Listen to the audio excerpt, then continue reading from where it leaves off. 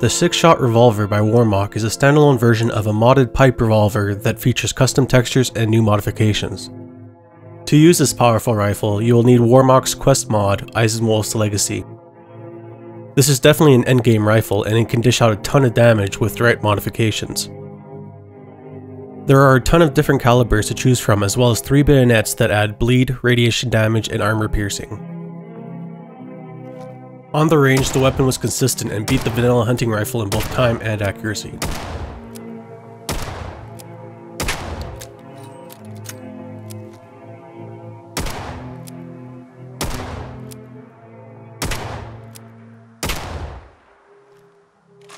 When modified, I struggled at the 30 wall marker due to the spread and drop caused by the suppressor.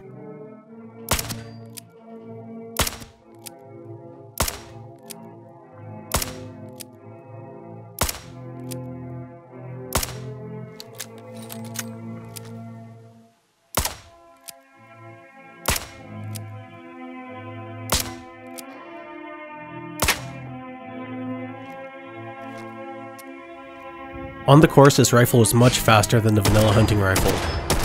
The rifle has a pretty fast fire rate and reload time, helping me clear rooms at a solid pace.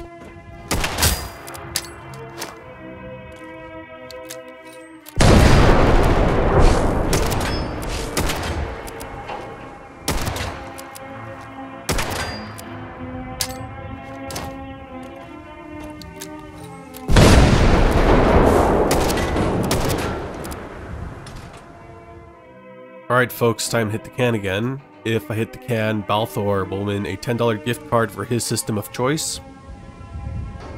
Let's uh, give it a shot here.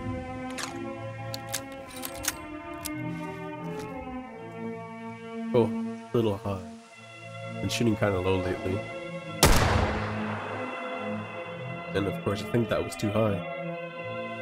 Uh, I'll never get it right. Thank you all for watching. Please comment below and let me know which weapon you want me to do next for a chance at winning a $10 gift card for your system. Watch out for them death claws and bring extra grenades. Have a great day.